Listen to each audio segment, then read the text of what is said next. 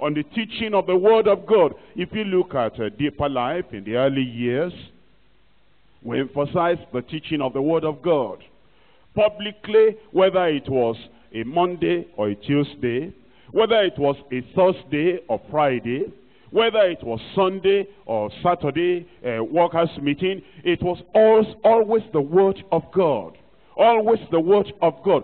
Always teaching, line upon line, precept upon precept. And when it came to counseling, if you have been partakers of this benefit that we're talking about, in the early days, you will see that the counseling was not on healing. The counseling was not on deliverance. The counseling was not on all these, uh, you know, I had a dream, I had a problem, I have a vision, I have a prophecy, I have a, I have a revelation, I have a gift of the Spirit, I have this, I have that, I discern that spirit, I have this sickness, something is crawling up all over my body. It wasn't that. Lady, there's nothing to laugh about. I'm not your boyfriend, I'm your preacher. So look at the word of God and hear what I'm preaching. Now, when you, at the early years, you will see that it was the preaching of the word of God. It wasn't, uh, you know, heal me, lay hands on me, I want this, I want that, I want this other thing. It was just the word of God every time. And you see, over now these years, when you look at the people that are lining up for counseling, it's no more the teaching ministry. It is no more the word of God that we're emphasizing. What people are now emphasizing is, I am sick. Something is crawling all over my body. Something is happening this way. My business is not going. In the early years, it was the teaching of the word of God. Now, you can see the children of Israel. They were exalting or lifting up the miracle ministry now at the time of Jeremiah above the teaching ministry they forsook the way of the Lord. Now the same thing you can tell uh, among us as we have grown fat and grown thick, as we have multiplied, and as the physical blessings of God have been upon us, there are people that have gone astray. Why? Is it because the word of God is no more available. Nay, we still have all the cassettes that we had listened, that we had uh, preached in our workers' retreats, in our leadership congress, and in our general retreats, and in all the meetings in the early years. A uh, few weeks now, I've been listening to some of the old messages to understand whether the fault is that we didn't teach everything that the people ought to know. Whether we didn't preserve for you the things that you ought to have known. And I've been listening to them. And uh, in fact, I felt that maybe the thing to do is not to come and repeat all these things, but to bring the cassettes and to make you listen to them and to make you see what had been spoken about in the word of God. And you have the cassettes at home with you. You have the cassettes in the States with you. You have the cassettes in your fellowships with you. And you have the books. You have the tracts. And as you see all these things, you see that it's not the problem that there is no word, there is no doctrine, there is no teaching. It is not that we have not preserved the word of the Lord. It is just that the devil has taken over many lives, taken over many fellowships, taken over many pastors, taken over many overseers. It is because the devil has taken over that even though the Bible is there, the tracts are there, the cassettes are there, the literature is there, everything is there, we're not looking at them anymore. The people forsook the way of the Lord. Think about deeper life when God raised up this deeper life for a purpose. So that the light, the fullness of the light of the gospel will be in our midst.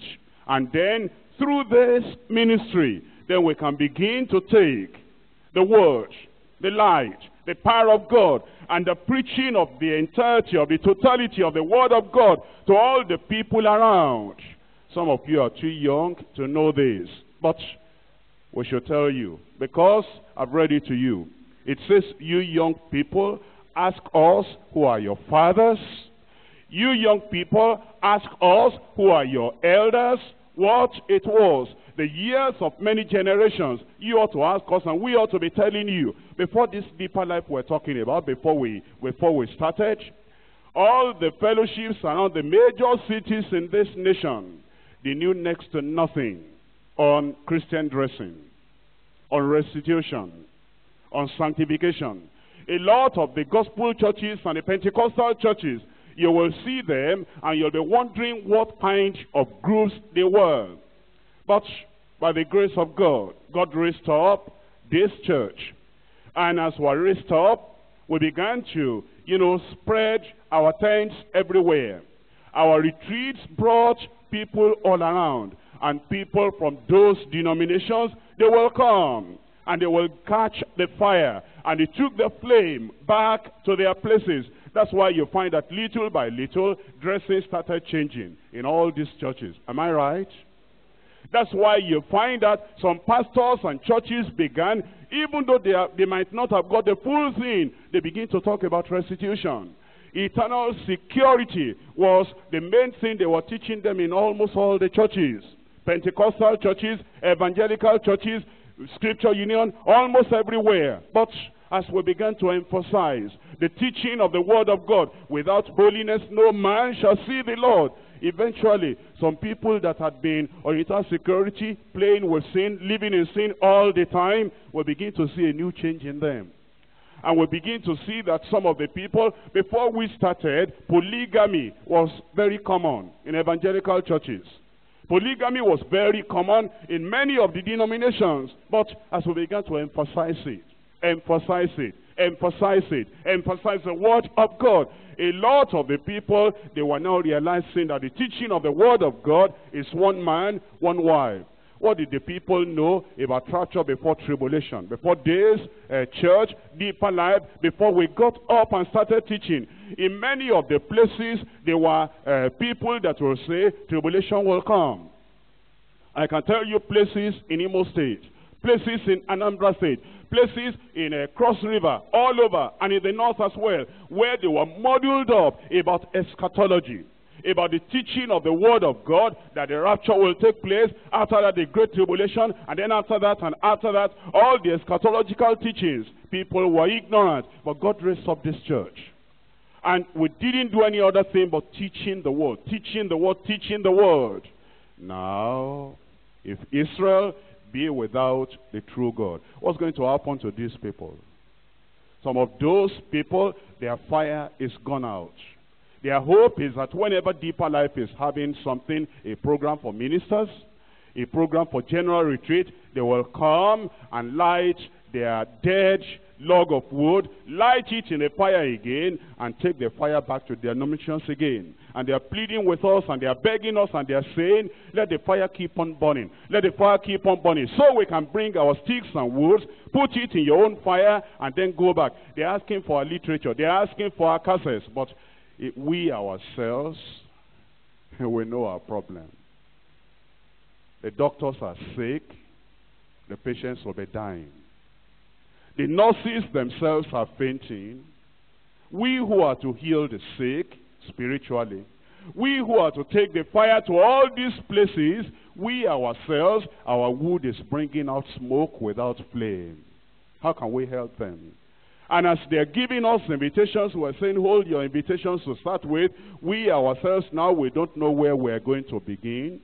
That our, our audiences, our congregations, our church buildings are littered with excreta. They're littered with corruption. They're littered with lying. They're littered with exaggeration. They're littered with worldliness. They're littered with all these evil things that we ourselves too, we have our own problem now because we are without a teaching priest. Teaching priest. Teaching priest. The priest that will teach. These were the people that God appointed. I don't want to mention the name of the state overseer. A few years ago, I called him. I said, you're a teacher. Don't copy anybody. And don't go after all this miracle, vision, prophecy. I said, we need you. We need you. And he was my boy in the early years. Well, he still thinks he's my boy now, but obedience is what will tell us to make us know. Whether you are a Timothy, my son in the faith, that will be able to go back to wherever we place you. And these things that we have taught you, you know my lifestyle, Paul the apostle said, and you know the teaching, and the things that you have known among many witnesses, go and confirm it to the people. He was my boy. And I had a lot of influence in his life. And because I'm a teacher myself, the influence I had on his life made him a real teacher. And I called him, I said, there's uh, gifts of the Spirit, healing, deliverance, watching for witches and wizards. I said, be careful. You're a teacher. Don't lose this thing. We don't have a lot of you teaching people in the ministry. And the few of you that have that can lay line upon line, precept upon precept, let's preserve you. Keep the teaching ministry. A lot of people now have lost the teaching ministry. All they're looking for now is, you know, how to work a miracle, how to make the blind eyes open, how to get a bread for the hungry, how to get money for the jobless, how to get prosperity for the poor, how to get this. And all these people are getting rich and they are denying the Lord and they are dying and going to hell. Let's have a teaching priest. Let's have the people that can teach the word of God and emphasize the teaching from the beginning to the very end. And then it says they were without law. You people, what have you done with the tracts that we gave you? Have you this, uh, do you still have them? Do you still have others may? I cannot. I don't think you have them. You don't know where they are. Because the way I see your life, for years, you've not read that tract. I found it back, my lost tears. We gave it in your hand. What have you done with it? You sit in a toilet. Something that will take you to heaven. Something that will prepare you for the rapture. Something that will make you different from all the multitudes of this world. You've thrown it away. You are now without law. How about the teachings of the Word of God? How about all the cassettes of this church? All you people, the cassettes of uh, the side road ministry the ministries that don't last beyond a month.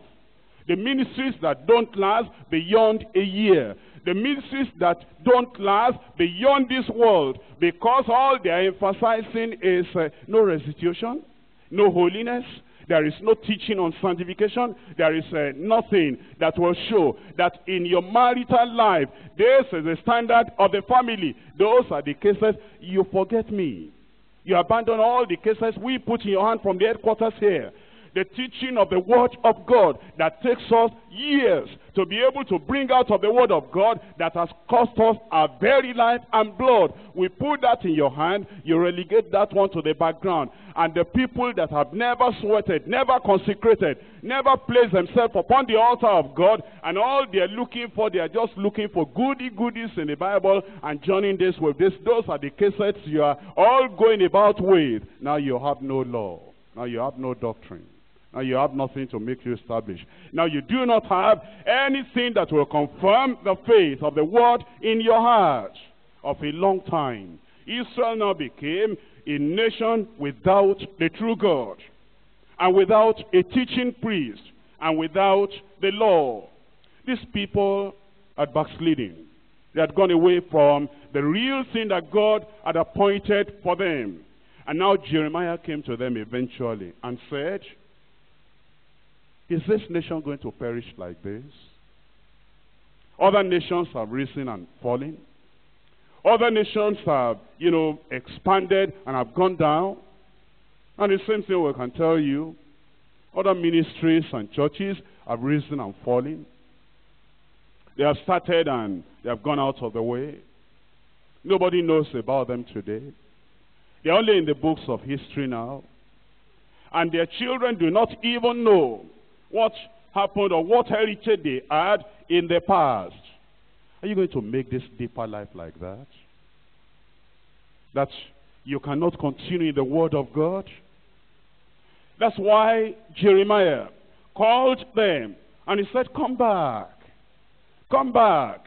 We know what we were. We know what we are now. And we need to come back to where we were.